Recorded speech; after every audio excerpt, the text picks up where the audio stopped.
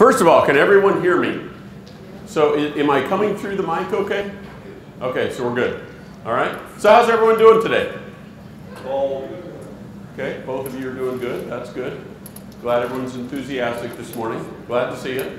Well, see, I always do that test in the beginning when I uh, when I when I uh, start up, and I think you know if, if everyone's not going to be enthusiastic, what we need to do is we need to start with a quiz. How do you feel about that? Does that sound okay? Jack, would you help me pass these around? Okay. All right. So here's what we're going to do. We're going to pass these around, but they're going to go face down. You got it? Face down. Okay. All right. Yep. So we're going to go face down. What do I do if I catch him peeking, Ron? Well, then they're going to be in trouble. How many more do you need? Two more. Just more. Are we grading these, Ron? What's that? Are we grading? these? Absolutely. There's always a grade that you should know that when you go to conferences and you go to, uh, to meetings, that there's, there's absolutely always going to be some kind of a grading system. So, um, so anyway, I don't know how long it's been uh, since you've all been in school. By the looks of some of you, it's been a really, really long time. So uh, we're, we're, we're going to actually see how uh, we're going to actually see how well you do with this. All right. Here we go. Here we go. Okay, and I'm assume I'm going to assume that everyone here has a pencil or a pen, right? Does everyone have a? You need one of these. Okay, you have to participate as well. Okay, raise your hand if you did not get a quiz.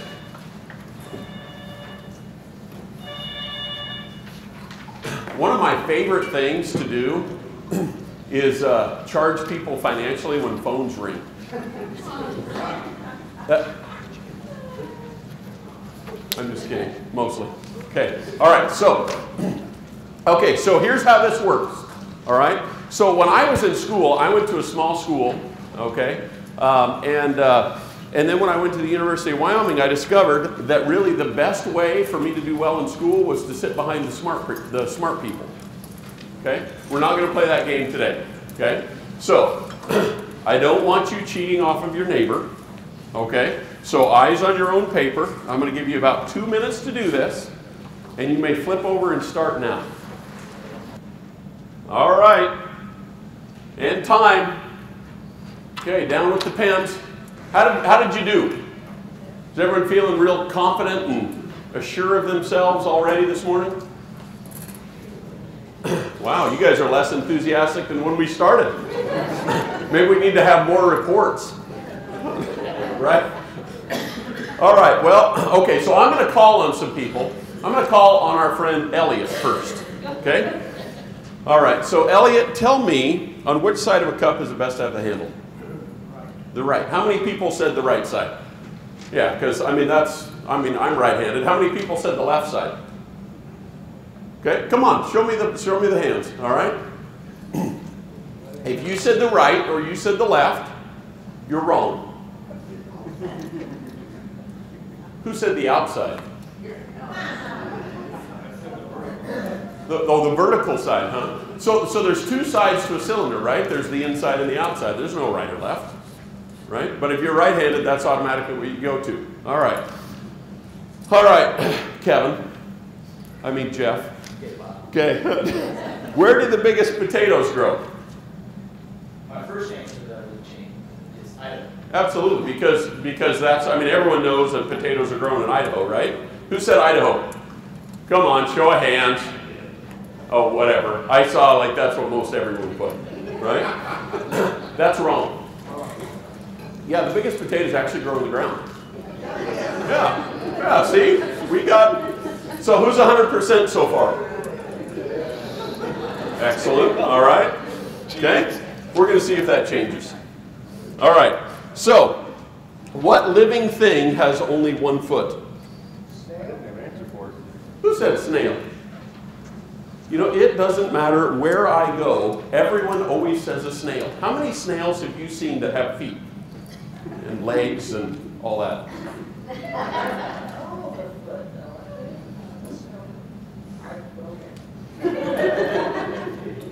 Where'd you go to school? Depends on where you went to school, right? All right. What living thing has only one foot? Did anyone else have any other answer besides a snail?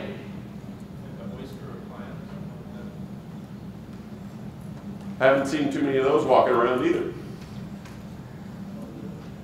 How about a leg? Right? A leg.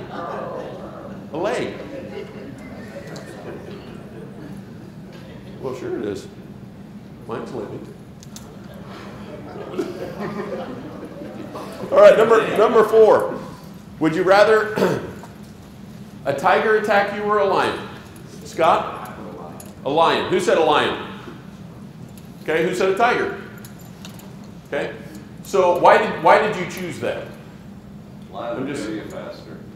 Oh, oh, oh, a lion will kill you faster? Okay. Let me read the question, okay?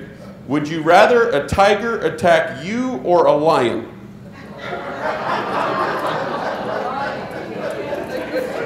That's all there is to it, right? Oh, man. I'm telling you. Got it right. All right, where, where are, this is for the ladies in the group, okay? You're a, you're a little bit of a minority today. Where are all men equally good looking? This is easy. In their minds. In the dark. Who said in the dark? See, there's an honest man right there. The answer is in the dark. Right? All right. So, if it took eight men 10 hours to build a wall, how long would it take four men to build that wall? Okay, we're getting into math, so it depends on where you went to school, whether you can, uh, whether you can get the proper answer here. Did we come up with a good answer? 20 hours? 20, who said 20 hours? Good math? I'd say no time at all because the wall's already built. Did you get that one? Okay, all right, okay. All right, moving right along. Okay, which would you prefer to have? This is a money question here, okay? So you need to be good at math with this one. Okay, which would you prefer to have, an old $10 bill or a new one? Both? Right. I love it when you give people a choice. That's, that's like my kindergartner. He says, you know, do you, would you rather have mac, or che- mac and cheese or, you know, chicken nuggets? I'll have both. That, that's, that's not an option. I didn't ask you if you wanted both. I asked you if you wanted mac and cheese or chicken nuggets, right? So let me ask this question again. Which would you prefer to have, an old $10 bill or a new one? Well, sure, you'd like the old 10, right? Who wouldn't, okay? Even us people who aren't quite as good at math, we'd still like to have that old $10 bill, wouldn't we? Absolutely, yeah. Okay, so if you had three apples and four oranges in one hand and four apples and three oranges in the other hand, what would you have? Easy peasy. What's that? Two hands full? I think you just have really big hands. Really big hands. Okay. All right. So, how can a man go eight days without sleep? Farming. Farming? I'm a little slow at handing my prizes out. See, I like that answer. There you go. There's your door prize. He sleeps at night. Right? Who got that? Did anyone get that? So I have no 100 percenters in the room? Rats. Man. Wait. All right, let's go to the last one. This one will make you feel better because this is a math question. Okay? Jerry, are you ready? Okay. Divide 20 by a half and add 10. What is the answer? 50. It's 50. Divide 20 by 0.5 and add 10. It's 50. Good job. Good job. So no 100 percenters in the room then is what you're, uh, is what you're telling me. Okay? So How does that make you feel about yourself so far this morning? My college education did not pay off. Dumber than boiled gravel. I've never heard that one before. Wow. I think I want to go. I think I want to go home now.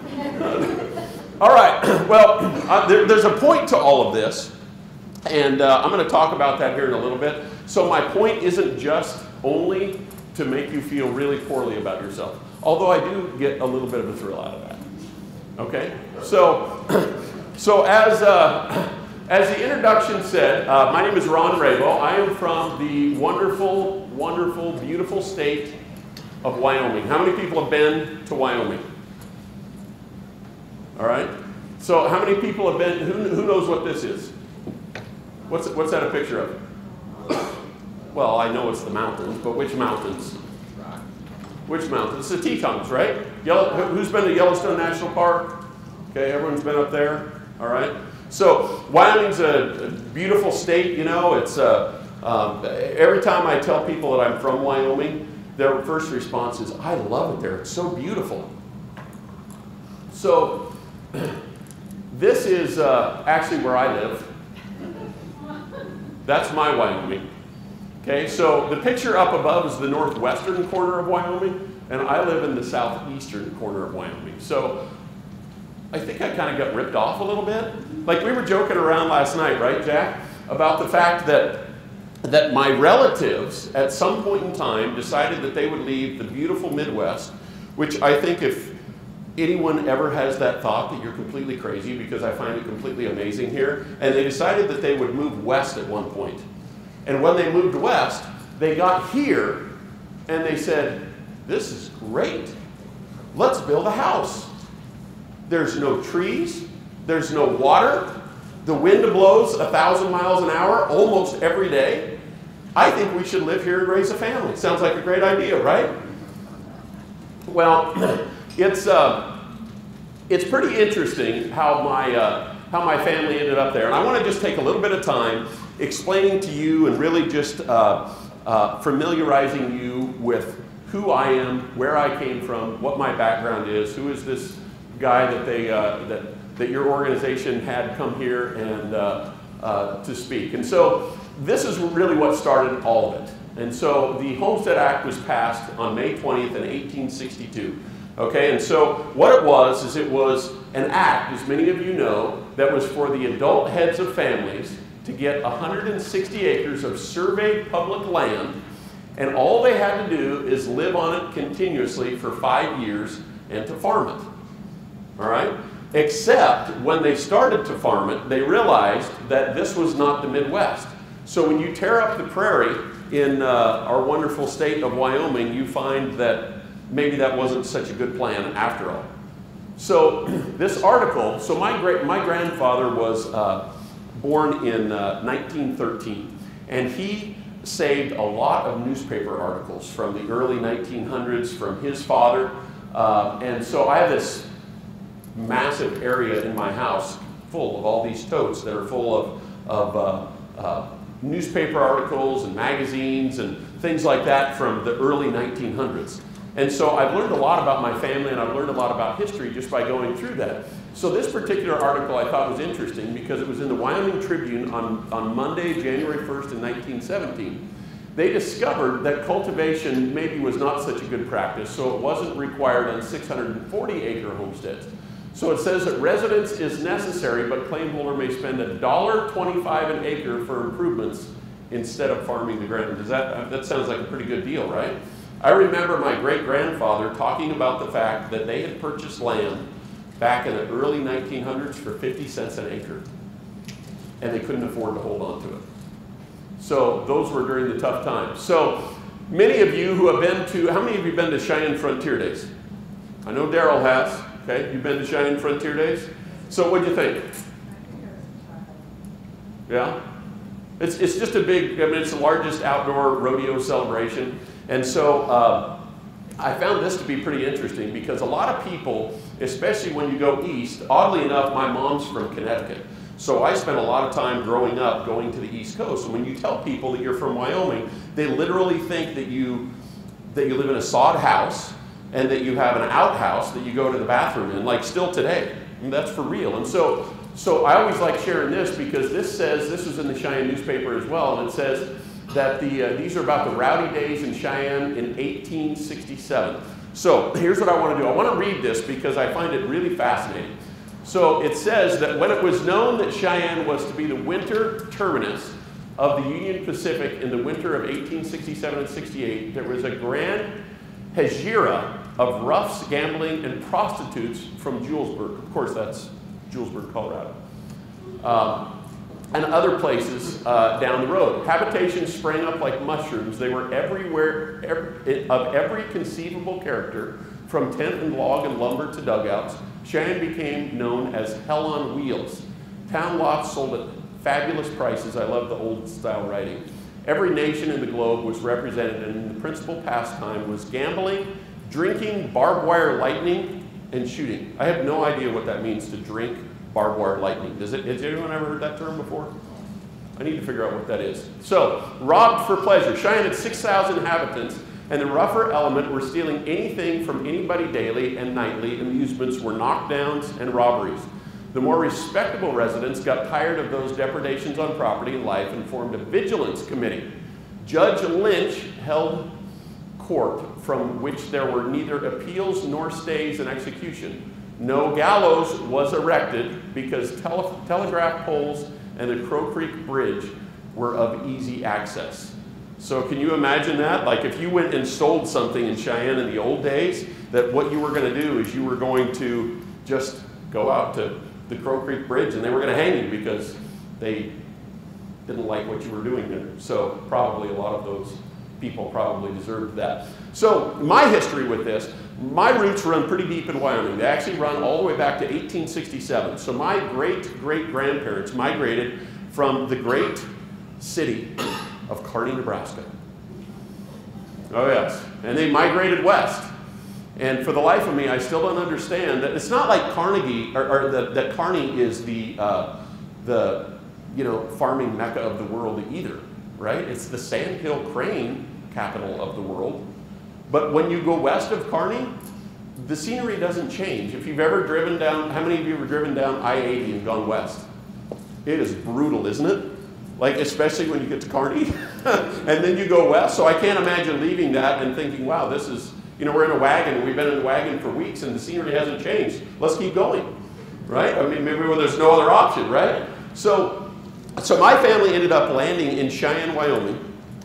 And uh, they, they uh, worked at the Cheyenne Steam Laundry and they, they bought and sold real estate.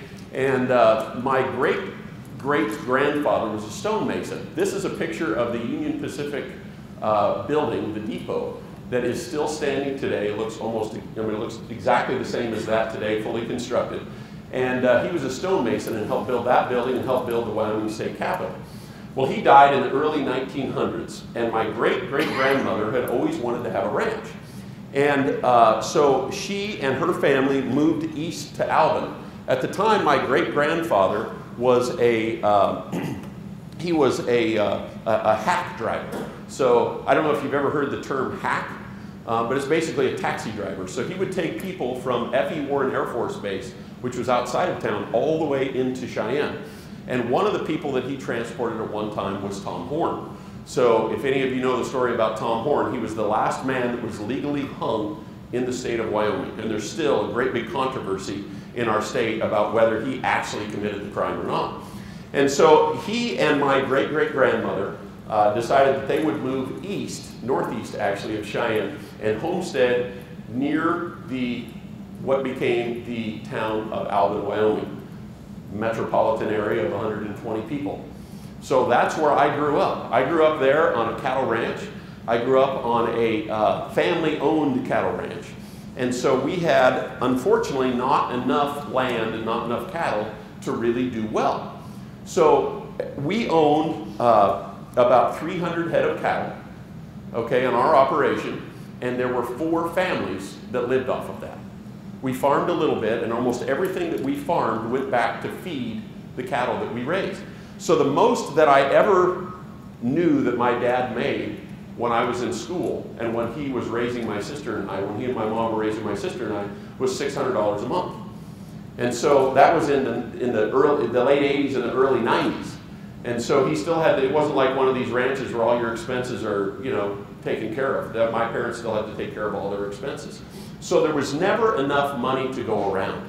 And so that created a little bit of a problem in our operation. See, it was my dad, my grandfather, and my grandfather's brother's sons that were on the operation. So what I tell people is that it was it was the same family tree but completely different branches.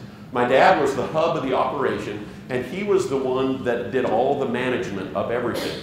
In fact, I remember his cousins and his father coming into our house every morning at 6.30 or 7 o'clock, watching our family eat breakfast and asking my dad what they needed to do that day. These are, these are guys in their 50s and 60s asking my dad what they need to do. Because there was, there was not much thought other than the fact that, you know, great grandfather, great grandfather moved here and then grandfather moved here. And if we just keep doing the same thing that they did, then everything will be okay. Because our model in our business, when I grew up, was don't worry about the revenue, just don't spend any money. And you'll make it. Everything will be okay. Because that's the way that great great grandfather did it, that's the way that great grandfather did it. So why change anything? And so I found myself in this, uh, in this predicament. Uh, of, of uh, growing up where we had this, uh, you know, this ranch. It was really not big enough to go around, but there was a lot of history that went behind the ranch. This is one of my favorites. When my great grandfather built the ranch, he was, uh, uh, he was certainly a pioneer and uh, one that was fairly aggressive in building his property. And so there was, there was a lot of pride and family history in my family. And this is one of my favorites. It says, Two farmers fight when one impounds 40 stray hogs. So, Sidney, Nebraska, December 27th, and I don't know what year this was, but George Rabou and Samuel Haldeman, farmers living in the Albin district west of Kimball, were both injured in a fight caused by Haldeman impounding at his farm a drove of 40 hogs which belonged to Rabou. Haldeman was hurt in the fistic encounter, and Rabou is confined to his home with gunshot wounds inflicted, according to police, by Haldeman after Rabou had beat him up. Rabou was shot in the leg and chest with a shotgun. Haldeman has been arrested, and Rabou will recover, according to advice he's had from his home Sunday. Right? Like it's a total Wild West. Like where in the world, I mean, where am I living, right? I mean, this is this is the world that I grew up in. And so so with with us in our operation, there was a lot of pride in this family history. In fact, there was so much pride in the family history that change was not an option. Because I remember my dad talking to my grandpa about the fact of, you know, let's invest into a circle and put a, a center pivot up on some of our land. Didn't want to spend the money. Okay? Now, for 40 years, uh, almost, in our county, you haven't been able to drill a well. So if you didn't do it clear back in the 70s, wasn't going to happen. Okay? And so on our operation, there was no debt, but there couldn't be because there was just no income. That's just the way it worked. And so so I found, I found myself in a little bit of a uh, predicament when I was growing up because my dad and I would talk about ranch transition and, and, farm transition. You all have been there before if you're, if you're in agriculture and you understand this stuff. I mean, history is important and family legacies are important and all of that. but I knew that when I was in school that I would have to go to college and get a job and work outside of the farm or outside of the ranch if I was ever going to have anything to do with it. And so that's what I did. And I found myself, uh, uh, I was pretty active in the FFA organization when I was growing up. I was a state FFA officer, I was on some national FFA staffs, and I ended up getting a job with the Wyoming FFA Foundation. And so I was their uh, PR uh, and fundraiser, PR guy and their fundraiser. And so I would always go home and help my dad whenever he, he asked me to help him. And so my dad and I were, we're extremely close. You know, I don't ever remember, how many of you remember being teenagers? Like some of you is a really long time ago. There's no question about that, right? But, but you know, you always hear this stuff, and I always have people tell me about my boys. They say, well, you just wait until they're teenagers, they'll hate you. And I just never remember, like, honestly going through that stage. I never remember that. I, I, I remember hearing that that would be what happened, but, but I just considered my parents to be my best friends. They were who I talked to about everything. we just had an open relationship. It was really great. And so I'll never forget this day. My dad, my dad called me and asked me to come home and work cattle. Um, we were weaning, and he just needed some help. And so I went home, and I, I, I always remember it was November 4th, 1999. And we were working our cattle, and I was filling a vaccine gun. And I turned around, and my dad was lying in the calf alley. And I jumped the fence, and I, I put my arm under his head, and I kneeled next to him, and like, you know, it's, I said, it's going to be okay. Just what happened? What's going on? And his face started to turn blue. And I hollered at his cousin, and we, we took him and we drug him out into the open. And we started CPR. And I remember giving my dad chest compressions. And I remember that it didn't even seem like it was a moment that was even happening. It didn't seem real. Like everything that, that he and I had talked about with what the future was for me, for our operation, for, for all of this stuff that had gone on in our family for the previous hundred years, it was like it was, it was like I knew that it wasn't going to happen anymore. And, and we continued to do CPR on my dad with no response, and then the paramedics got there, and they continued to do CPR.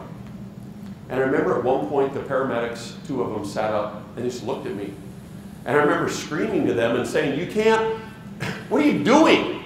You can't stop. You've got to, you've got to try at least. And the look in their eye just said everything.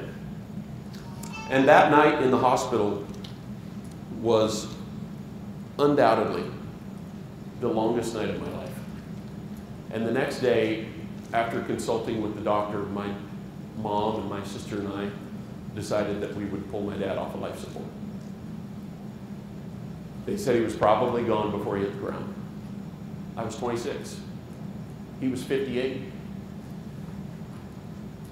And I didn't think that I could actually go on because he was everything to me.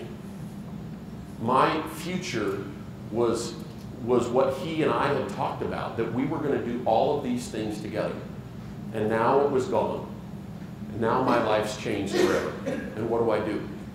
And over the coming weeks and the coming months, I remember driving to the ranch. I was living in Cheyenne. I was driving 50 miles to the ranch.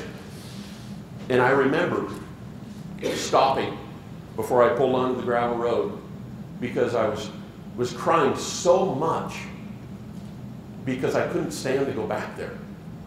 And I thought, what am I going to do? I got to gather myself. I got to figure this out.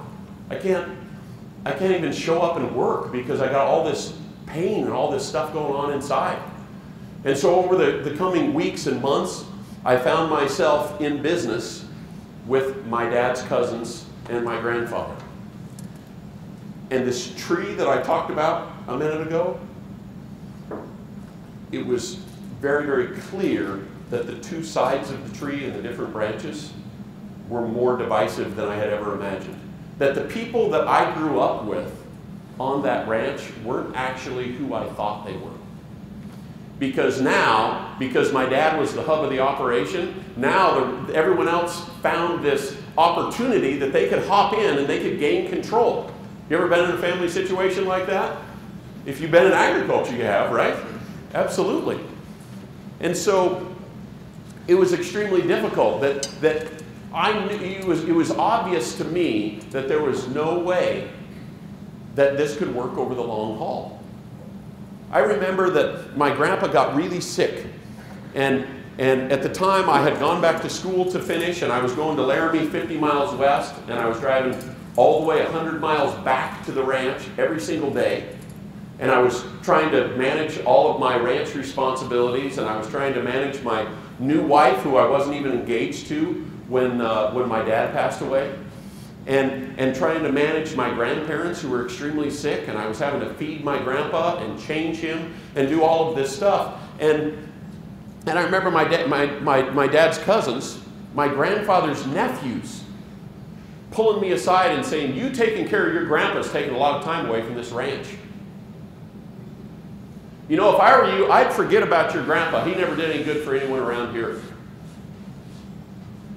He was the man that made sure that when their dad passed away, that they could come back. And so as time began to unfold over a period of a couple of years, I was presented with more problems. And it was obvious to me that this was not a healthy, long term solution for me or my marriage or my family. And so, after a lot of consulting and a lot of tears and a lot of heartache and a lot of struggle, I committed the ultimate sin in agriculture. And I broke up the family ranch. It's not something that you take lightly when it's been in your family for as long as ours had been. I love this quote. Everyone thinks of changing the world, but no one thinks of changing himself. And I remember my wife and I having that discussion. And we said, maybe it's us. Maybe we're the ones that can't get along with anyone. Maybe we're the ones that just have an improper perspective. Maybe it's our problem. And we tried to approach it differently. And it was just really obvious that it just flat wasn't going to work. It was like mixing oil and water. So when I left, I struggled about that because I knew that if I left, I was going to lose a lot. Because there was a glitch in our family estate plan when my dad passed away because he passed away out of order because the way they had it structured is that grandpa will go first and then, you know, nephew will go next. My dad passed away out of order. So what happened to me is that if I stayed there, I knew that eventually, because of the types of shares that we had on that, on that range, that I would eventually own 100% of the management control of that property. But if I left, not only would I lose all of that, but I would also lose a major portion of what I owned if I were to just stay. But I left anyway. And the reason that I left is because I don't think sitting around and waiting, waiting for people to die is a good estate plan. I don't think that's a good retirement plan. I don't think it's a good way to live our lives, but that's what we do in agriculture. Well, this is what Grandpa did. This is what Dad did, so this is, this is what we're going to do. And I don't like it, but this is what we're going to do. And so when I left, as you might imagine, in a town of 120 people, people think they know what they're talking about. They think they know everything that happened inside. The family thinks they know what happened. And so I ended up with my grandparents' place that was falling down. And I ended up with a little bit of farm ground. I had equipment, just a few pieces from the 1960s that I had on my place, and I had never farmed an acre of anything in my life. Because whenever my dad said to do something, it was, you know, go cut this piece of hay. You know, and I ran an old 1960s Massey Ferguson 510 combine when I was growing up. And that was what I was accustomed to. But I never planted an acre of anything. I certainly didn't understand the process from start to finish. And so we set out to farm on our own. We're going to make it. We can do this. And after four years of losing almost everything that we had, we came to another roadblock. So I had decided that we couldn't make it. We just couldn't make it on the land that we had. We, you know, had a couple of little boys at that time, and we just knew that there was no way that this whole, whole thing was going to work. So I decided, well, I'll go back to school and I'll get a teaching degree because I can at least farm our little bit of ground in the summertime and I'll teach the rest of the year. Except when I started with my teaching degree, I remember coming home and telling my wife, if we have one more class and I have to write one more paper about me sharing my feelings, I think someone's going to get hurt. And so at that time, I decided here's what I'm going to do.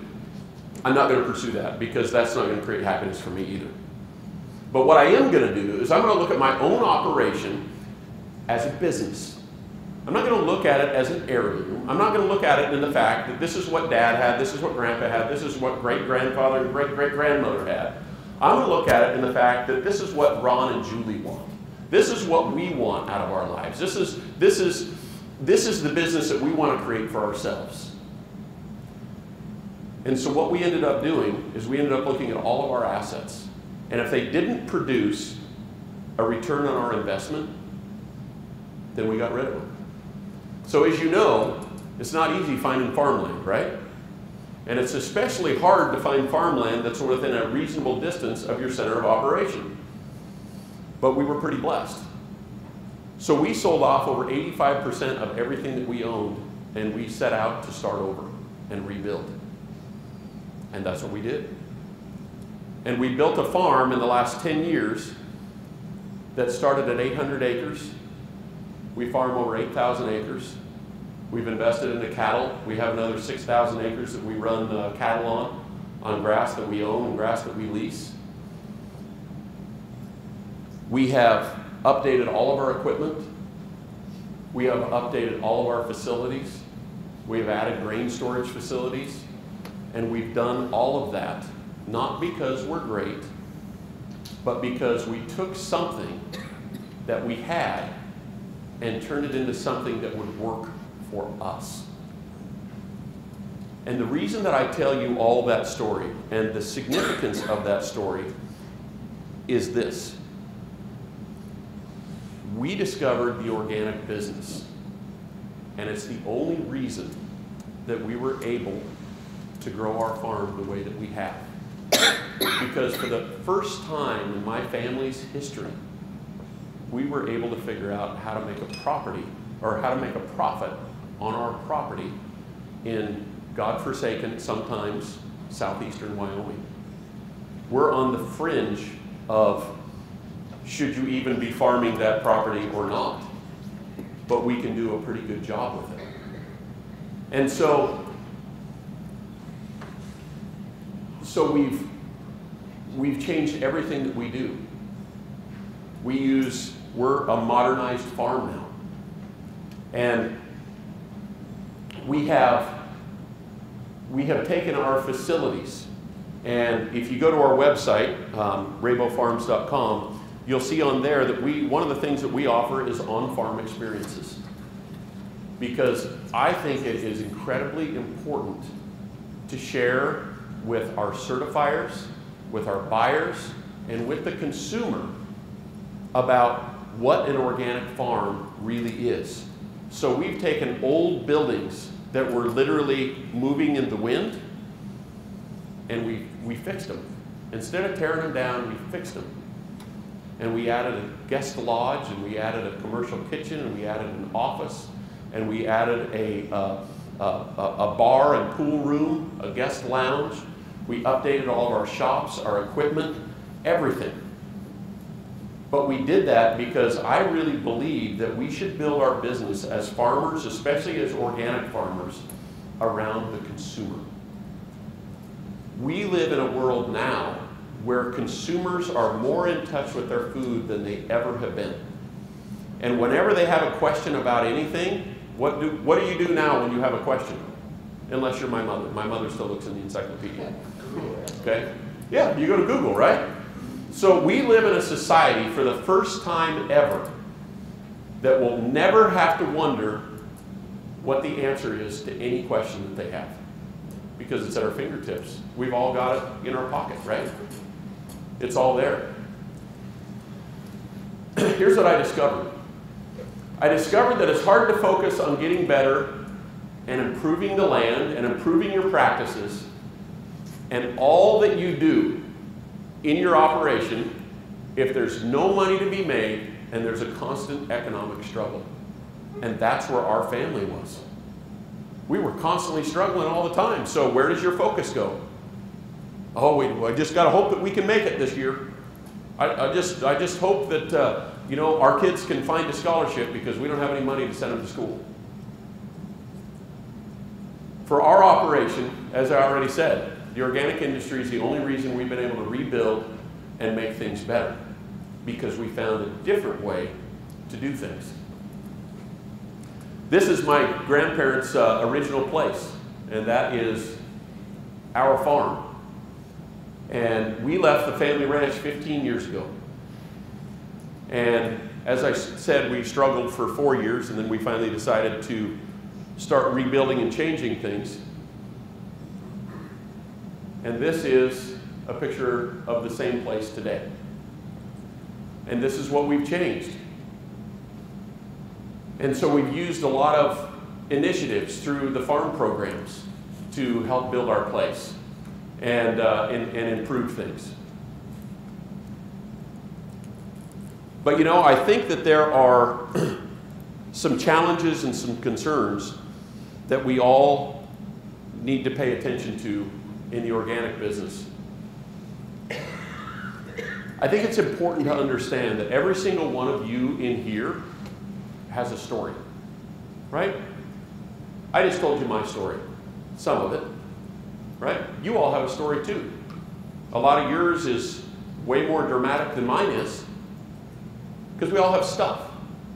But I think it's important to remember and keep the perspective that when there's when there's all the paperwork that we have to do as certifiers or as producers, and there's all of the red tape that we have to flow through, it's important to remember that farms are not just built overnight, but they're built over generations of time. That, that American farmers take a tremendous amount of pride in what they do and how they do it. And I think it's extremely important to keep in mind the commitment and the investment that farmers have in their own operations. Ours, I think, is a prime example. So you all know this, but I just pulled this out just for uh, easy math here. Let's look at this, just as an example. Okay, land where I'm at isn't as expensive, obviously, as land where you all are from. Okay, so we can buy farmland, dry land farm, farm ground where we're at, roughly around $1,200 an acre. Well, if you have a thousand acre operation, that's 1.2 million. Let's say you buy a bunch of used equipment. Now you've got another half a million on top of that. Your storage facilities, your operation facilities, your annual operating expenses, and now pretty soon you've got over a couple of million dollars in a small thousand acre operation which would not provide for a family where I'm at. It's just not enough ground. It's not enough at all because you can't produce enough off of it. And that doesn't include any kind of a revenue stream or any kind of a profit or any kind of wages or anything like that. So I think it's important that we are mindful as consumers and particularly as certifiers and as buyers that no one is going to take a $2 million investment or five or $10 million investment and throw it down the toilet. They're not going to try to, to, uh, to not do the best they can with that. Okay, and I want to address that here in a minute because I think that it's important that, that we keep a proper perspective. That's all I'm saying. Is that when we're dealing with people that have this kind of investment, it's not just time, it's not just legacy, it's not just history, it's not just that it's the financial investment as well. So, what's important? I think that there's nothing more important on this planet than the value of relationships. And what I'm talking about is I'm talking about the value of relationships between producers and certifiers, between producers and buyers, between producers, certifi- uh, producers, certifiers, processors, manufacturers, and the consumer. Because, like I said, the consumer's more in touch than they ever have been. But relationships are important. Open communication is important. I can only speak to what I know, and I know our area of the country pretty well. That there's a lot of guys that live where we do, much like you were talking earlier about the fact that they think that their certifiers are out to get them. That the inspectors are going to show up and they're going to find something and it's going to put them out of business. Because they're on the edge, even with the organic markets. Daryl and I were talking about this this morning that in our neck of the woods, even with the organic markets, there's not a lot of profit there where we're at because the production levels are just not there. So my point is, is that people in our area are not going to take a two or four or five or six or eight or ten million dollar investment and not do what they're supposed to do because their very dependence on their life and their business is dependent upon them being able to sell in this niche market. But in the form of relationships, how much time do we spend? I'm not talking just as certification agencies, I'm talking about in life in general. How much time do we spend building actual relationships with the people that we work with? Would it be helpful, for an example, if the national organization came to your chapter and said, look, we're all on the same team here. We really appreciate you guys and we understand what you do. These are obviously the rules and the guidelines that we have to follow, and here's why we have to follow them. But we're not out to get you. We're here, we're all on the same team. It's important that we have that conversation. But there's so many guys in my area that are so paranoid of the fact that you know, I'm going to get some guy from the East Coast. He's going to he's going to come out to my place and he's going to look at it and he's not going to understand what we're going to do and we're going to lose it all. And I'm telling you, it's a major concern, isn't it? That's exactly what the are. It's exactly the conversation. Yeah, it, it, it's a real thing. But we're, the, the problem is, is we're not talking about it. We're not. We're talking about it in pockets, but we're not engaging it as organizations and people who work with each other if you don't have a relationship with the people that you work with and a mode of open communication, there's no trust. And if there's no trust, there's nothing. If we can't trust each other, then there's nothing. That's why we said on our farm, and not everyone can do this, but this is why we said on our farm, come to our farm. Live with us. See what we do. Then maybe you can get a little bit better perspective. What's this picture? Yesterday? well, if I was on a tractor yesterday, I was in the wrong place. That's me planting wheat on a September day and there was no wind. That's what it looks like where I live. The soil that we have, I'm telling you, is nothing compared to what it is here. It is nothing. All I can say is thank goodness for technology, right? Because the tractor can drive itself. Otherwise, you would not, you know, I mean, we used to have all kinds of big skips because you can't see where you're going. And here's my point there is absolutely, in my mind, no one size fits all formula because we all live in different places. And we all have a lot of different challenges that we face. We all have a lot of different issues that we're trying to overcome, but I'll speak to the ones that I know the best. We have some challenges where we farm. One is precipitation. We have an annual precipitation rate of 14 inches a year. Most of that falls from October through April in the form of horizontal snowstorms. Okay, if you don't know what a horizontal snowstorm is, it's when the, the snow comes down like this, and when it hits Wyoming, it goes like this because of the wind. And it piles up in our tree rows, and it piles up in our buildings, and then it turns black. Because even with a lot of cover on the ground, the dirt still blows.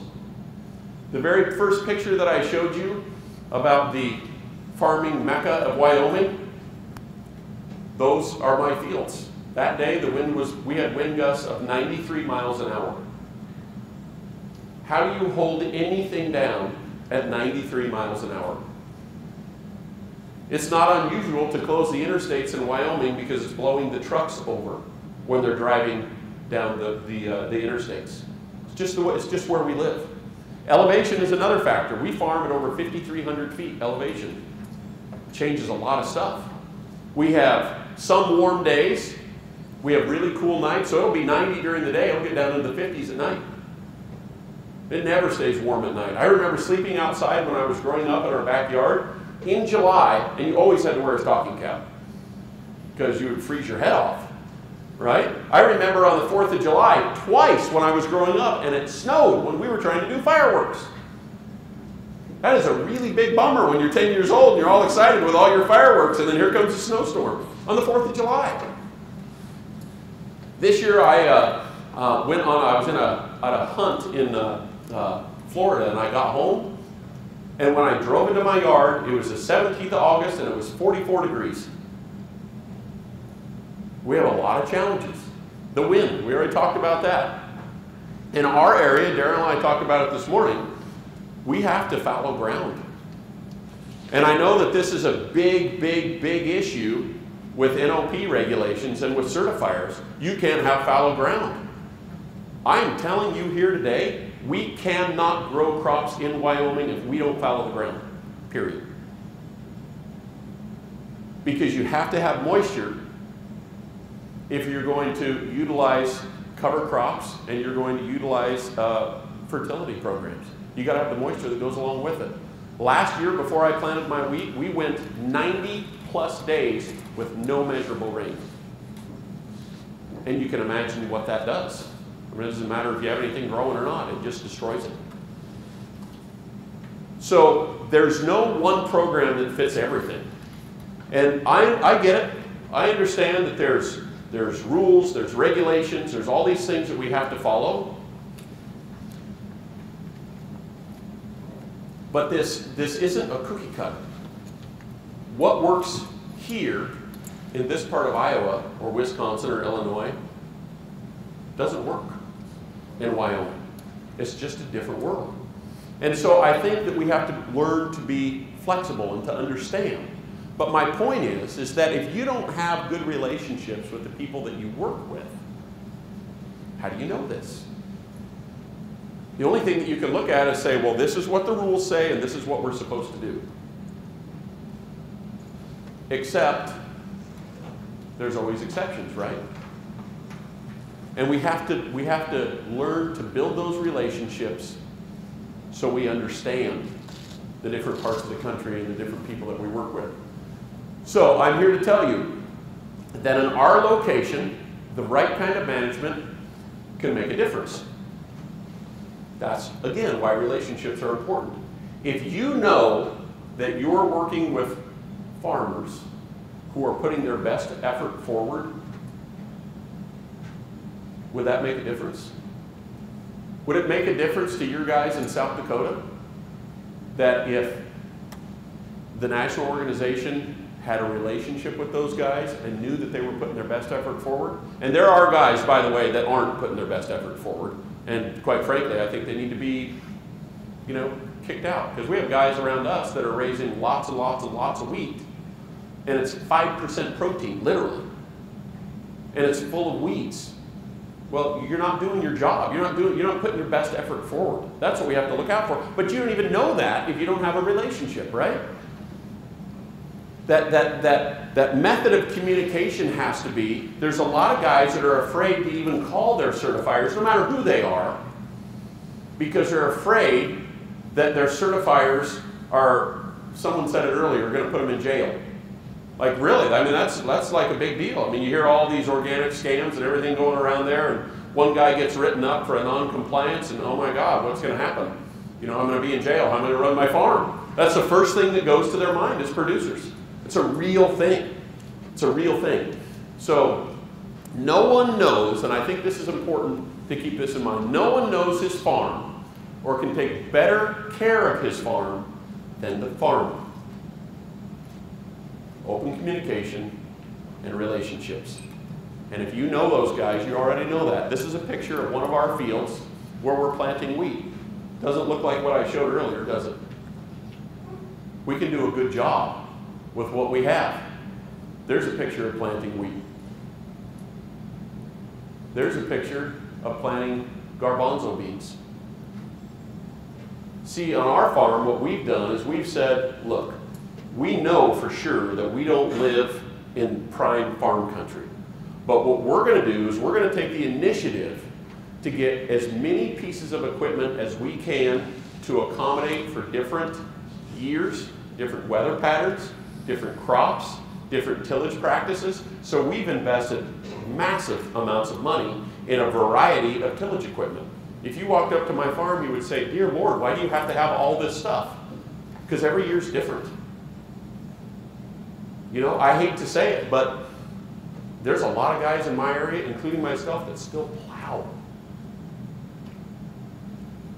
If you don't plow in an organic system every three or four years in our neck of the woods, you're going to have cheatgrass and Russian thistles running completely amok everywhere. It doesn't have to be done every year, but it's a necessary part of the system. Okay? So here's another one. These are our wheat fields. We take pride in the fact that they're clean. You know, so many people say, well, you're an organic farmer, so bet you're enjoying farming those weeds. Not in our place. No way. Not if we can help it. This is a little bit dark, but you can see there, that is a field of garbanzo beans. So I understand what some of the requirements are, you know, nationally. And so what we've done on our farm is to take the initiative and say, we're going to try to grow some different crops. And every single one of my neighbors has told me, you can't do that here. Have you ever, have you ever heard that, right? Oh, you can't do that. That's a bad idea. We tried that several years ago. It didn't work. Really? Because we tried it and it is working. Three years in a row. And we've done really well with garbanzo beans and with green lentils and with field peas. Proso millet is another one of ours. I'm looking into two different crops right now, and we're going to, we're going to, what we do is we experimentally grow them first. And depending on whether the weather conditions are favor, favorable or not, um, we'll grow more acres the following year if it worked, and if we can find a market for it. So this is a picture of organic garbanzo beans in the truck. And these are organic green lentils in the bin. So the point is, is that we can do the right things. But that's why the relationships are important. That's why the communication is important. Rather than, than having producers have a bunch of fear, maybe we just need to have a conversation about, hey, have you ever tried this? Have you ever done this? Most of, most of producers, Jack said it best last night, if farmers were to step out and go see different farms and different places all over the country, they would have a different perspective, correct? But how many of them ever step out? Most of them are living in the tiny box that they live in, right? So sometimes maybe we have to go to them. Maybe we have to communicate that. this is a concern that I've been hearing about. And I think that it's dangerous for the American and Canadian, by the way, for our Canadian friends, um, to the integrity of our business. I think that our focus needs to be on United States and Canadian grown organic foods. I've heard nightmare stories from buyers that have opened shipping containers of products that have been shipped in organically, all the paperwork's there, that would make your eyeballs pop out. Because no one holds the producers to a higher level of integrity than the United States does. And that we have a lot of processors and a lot of manufacturers and a lot of millers that have invested millions and millions and millions of dollars into the organic business.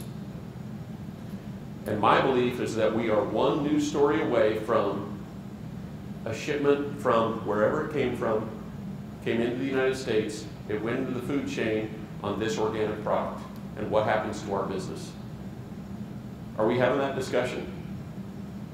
If we've invested as farmers, as certifiers, as millers, processors, and manufacturers, we've invested collectively billions and billions and billions of dollars into this business. Are we willing for a couple of dollars a bushel to get grain from, you know, not picking on India for an example, and hope that it actually has the same level of integrity that our product does? We need to have that conversation. And the reason that we need to have that conversation because we have to protect our industry. And how do we protect our industry? We support North American grown, American and Canadian grown products because we know that the integrity of the product is there. We know that. But if we don't unify together as one voice to support that, what happens to our industry when a news article comes out in the LA Times? And it, by the way, it doesn't even have to be factual. You know that, right? Perception's everything. So it doesn't even have to be factual for people to believe it. And what happens to our industry? What happens to your organization? What happens if it was it was a uh, an overseas uh, articulating agreement that you made with another country? What happens to your organization? What happens to our industry? I just think that we need to think about these things. I'm not saying that we all need to run out the door and you know have conversations, but we have to start somewhere, and we have to pull our voice together. That's the problem in American agriculture right now, is that we're all, and you know this, being producers, whoever's here that, that, that, that is a producer, you know that we are so fiercely independent that we are not going to uh, look out for anyone but ourselves. We're going to have one voice in American agriculture. We don't have that voice right now. We don't have a unified voice. I'm telling you, the consumer is in touch with what they eat and where it comes from. And what are we doing to make sure that we're building the communication chains and the relationships with the end user in our business? So, this is really about keeping the proper perspective. I think it's important, right? We got red tape, we got paperwork, we got rules, we got regulations, we got all that stuff. But what are we overlooking? Relationships,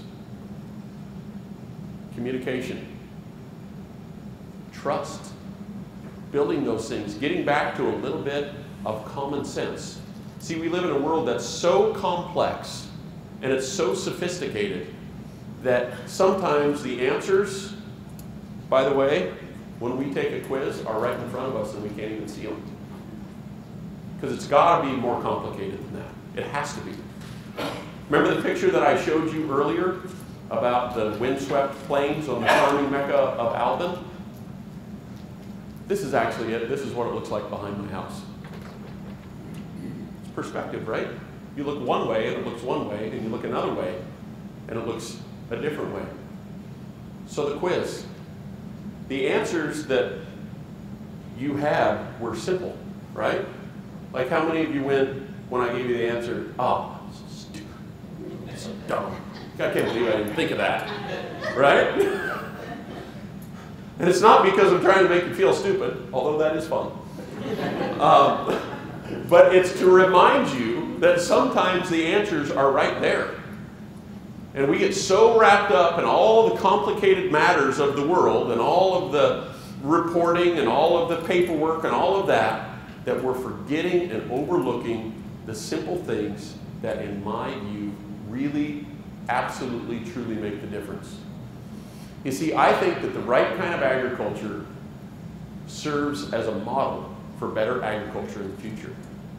I'm telling you that if you can make a farm successful in our part of the country, and you can do a good job raising what we raise, you can be successful anywhere farming. But it takes innovation, it takes creativity, it takes a willingness to be able to change and to have a different perspective. I already touched on this earlier, but no, no other nation holds their producers to a higher standard of organic integrity than the United States. And I'm telling you, we absolutely must, as an industry, industry wide, unify as one voice. It's imperative. I beat this matter to death. Relationships matter, communication is imperative, and trust is everything.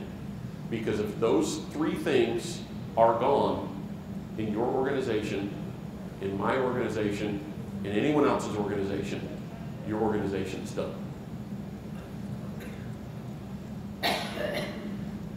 We have to communicate to the consumer and to the American public that supporting organic agriculture means supporting rural communities. There's more and more and more people today moving out of urban America and moving into rural settings. Why do you think that is? It's a great place to raise a family. There's more peace. There's more solitude. Where do you go when you go on vacation? If you live in metropolitan New York City, do you go to metropolitan Chicago? Or do you go to upstate New York to enjoy some peace and solitude? When we go on vacation, even though we live on a farm, we love to go, you know, to the mountains or to the beach where we can chill out and enjoy nature. Because rural communities, in my view, are the foundation of our country and they're the nucleus of the American family. Because if we don't intact, protect the integrity of the American family and the integrity of our rural communities, what do we have? And we have a perfect opportunity to do that as certifiers, as producers, as anyone who is involved in the organic industry. And we, as an industry, can start that movement and we can make a difference. So, thanks very much. I've appreciated being here. Would love to chat with all of you. If you would like to learn a little bit more about us, you can go there. I will tell you that we were very honored a couple of weeks ago. Uh, we were in Chicago, and now that you have heard a little bit of my story, um, we were chosen, I think, as one of the first organic operations ever um, by National Farm Journal Media, as one of three national finalists for uh, top producer of the year. And so it was a humbling honor. Certainly, no one's ever been considered from Wyoming. And so uh, I think it proves to me that the organic industry is making a presence and that that is really super important. But we have to keep it together. We have to continue to work to make it better and to connect and share our message. So, anyway, I'll let you get on with the rest of your meeting. Thanks very much for having me here. I really love this part of the country.